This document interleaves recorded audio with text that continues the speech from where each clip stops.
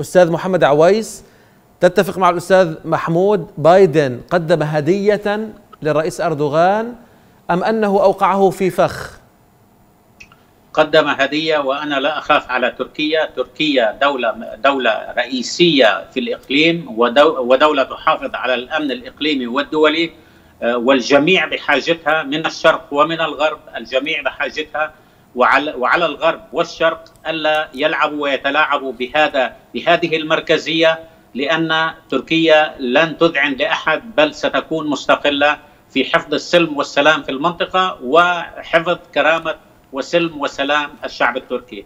لا أخاف على تركيا بل أخاف على هؤلاء الذين لا يفهمون عقلية الاستقلالية بل يفكرون بالفكر الاستيطاني الاستعماري القديم الذي ذهب وولى والآن هنا لعبة جديدة في العالم وتركيا ستبقى كما كانت في الطليعة وقوية كما كانت.